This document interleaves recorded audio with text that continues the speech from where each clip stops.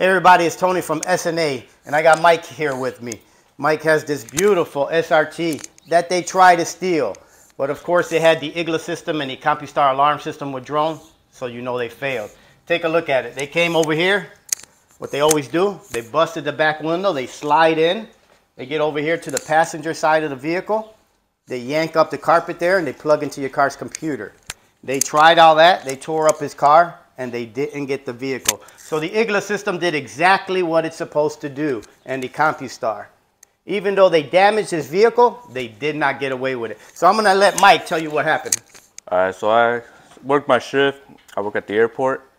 Uh, I come to the parking lot and automatically seeing the window. They yanked the whole window out. It was on the ground.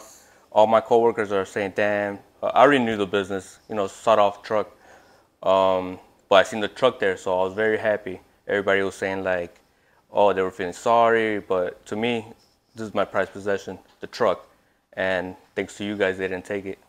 So people, if you want to keep your car, talk to Mike.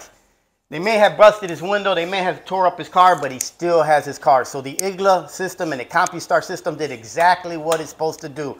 He still has his car the next day. So if you want to keep your car or truck secure, Come and see us at S&A Security Specialist. We got you.